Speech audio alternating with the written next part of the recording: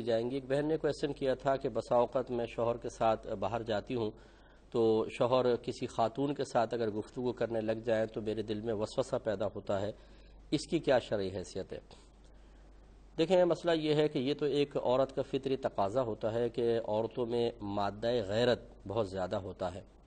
اور غیرت کا مطلب یہ ہوتا ہے کہ جو چیز آپ کے ساتھ خاص ہو، جب کوئی اس میں شریک ہوتا نظر آئے تو دل میں ایک نفرت کا جذبہ پیدا ہوتا ہے یا نفرت پیدا ہوتی ہے، اسی کا نام ہوتا ہے غیرت۔ تو چونکہ عورت چاہتی ہے کہ شوہر کی تمام تر توجہ اس کی جانب ہو اگر وہ کسی عورت کی طرف تھوڑا سا بھی متوجہ ہوتا ہے تو اس کی غیرت جاگ جاتی ہے اور وسوسے پیدا ہوتے ہیں۔ لیکن یہ ضرور ہے کہ دیکھیں اس دنیا میں مختلف معاملات کی وجہ سے، مختلف ضرورتوں کی وجہ سے مرد عورت سے اور عورت مرد سے کلام کرنے پر مجبور ہوتی ہے۔ خود جن بہن نے کوشچن کیا ہے کہ آپ کو بھی بہت سارے نامحرم سے گفتگو کرنے کا شاید موقع ملتا ہو یا ضرورت پیش آتی ہو، اس میں ڈاکٹر بھی شامل ہے، اس میں سبزی والا ہے، دودھ والا ہے کزنز ہوتے ہیں یا خاندانی رشتہ دار ہوتے ہیں۔ ہو سکتا ہے آپ سب سے محفوظ رہتی ہوں، لیکن ہم ایک عام مثال لے لیتے ہیں کہ بہت ساری خواتین کو ایسا کرنا پڑتا ہے۔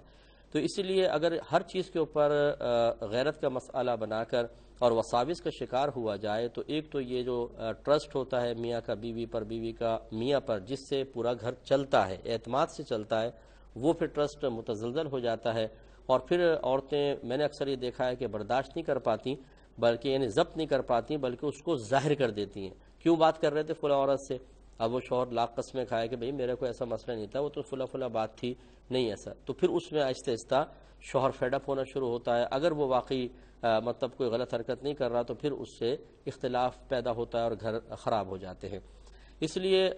ہر ایک دونوں فریقین کو دیکھنا چاہیے۔ اپنے ساتھی کی عادات، اتوار، اس کی نیچر، ہر ایک کو پتہ ہوتی ہے اگر آپ یہ سمجھتی ہیں کہ آپ کے شوہر ایسا نہیں ہے کہ وہ ہر عورت کی طرف مائل ہوتے ہیں، ضرورت نہیں گفتگو کرتے ہیں، تو پھر تو یہ وسوسہ آنا بالکل بیکار ہے اور خواہ مخواہ اپنا گھر خراب کرنا ہے۔ اور اگر آپ یہ سمجھتی ہیں، نہیں، ان کی عادت یہ ہے کہ جہاں کوئی عورت نظر آتی ہے اس سے ہنسنا شروع کر دیتے ہیں، باتیں کرنا شروع کر دیتے ہیں، تو پھر آپ کا یہ وسوسہ کوئی غلط نہیں ہے۔ اس میں پھر آپ پیار محبت سے اپنے شوہر کو تنہائی میں نہ یہ کہ پیچھے پڑھ کر، نہ یہ کہ سختی کے ساتھ، نہ یہ کہ جھگڑ کر، بلکہ نرمی سے سمجھائیں کہ آپ کا یہ عمل میرے لیے باعث تکلیف ہے۔ اور ذرا غور کیجیے کہ اگر ہم اپنی بچی کی شادی کریں اور آپ یہ دیکھیں کہ آپ کا داماد عورتوں سے اس طرح ہنس کے بات کر رہا ہے تو آپ کو کیسا فیل ہوگا؟ تو پھر آپ کا شوہر یقیناً کچھ نہ کچھ سوچنے پہ مجبور ہوں گے، لیکن جب تک شوہر میں ایسی کوئی بری عادت نہ ہو، اسے خواہ خواہ اس کے اوپر شک کرنا اور وسوسوں کا شکار ہو کر ہر عورت سے جائز بات کرتے ہوئے دیکھ کر بھی اس کو ناجائز سمجھنا اور نیگٹیو ان کے بارے میں خیالات ذہن میں لانا، یہ خود آپ کے لیے نقصان کا باعث ہے۔ اور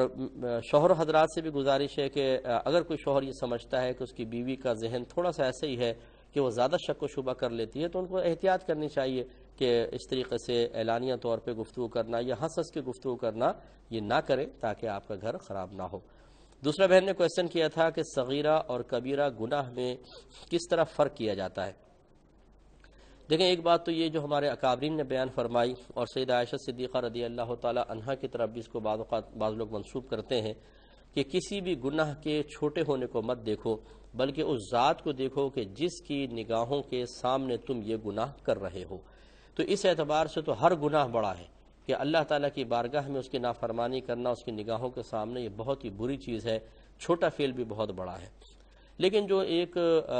گناہ صغیرہ اور کبیرہ کا فرق رکھا گیا ہے کہ یہ کبیرہ گناہ جو ہے وہ صرف توبہ سے معاف ہوتا ہے یا اگر کوئی کافر تھا، اسلام لایا تو اس کے تمام پچھلے کبیرہ گناہ معاف ہو جاتے ہیں یا کوئی حج کرتا ہے اور میدان عرفات پہنچتا ہے تو حقوق اللہ اور مزدلفہ پہنچتا ہے اور اللہ تعالیٰ اس کے حج کو قبول فرما لے تو حقوق العباد بھی معاف ہو جاتے ہیں۔ یہ کبیرہ گناہوں کے ساتھ خاص ہے۔ اور باقی جو صغیرہ گناہ ہوتے ہیں، وہ پھر وضو کرنے سے، اچھے کلمات کہنے سے، توبہ کرنے سے، استغفار کرنے سے، نماز کے لیے چلنے سے، جماعت کے لیے جب ہم چلتے ہیں، اسی طریقے سے جب نماز کا کوئی عادی ہوتا ہے تو ایک نماز سے دوسرے نماز کے درمیان کے صغیرہ معاف ہوتے ہیں، ایک جمعے سے دوسرے جمعے کے درمیان درمیان کے صغیرہ گناہ معاف ہوتے ہیں۔ وہ پھر اس اعتبار سے اس میں تھوڑا سا ہم فرق کرتے ہیں۔ تو اب اس کی پہچان اور شناخت یہ علماء نے بیان فرمائی کہ ہر وہ گناہ جس پر نبی کریم صلی اللہ علیہ وسلم نے کوئی حد بیان کی ہو۔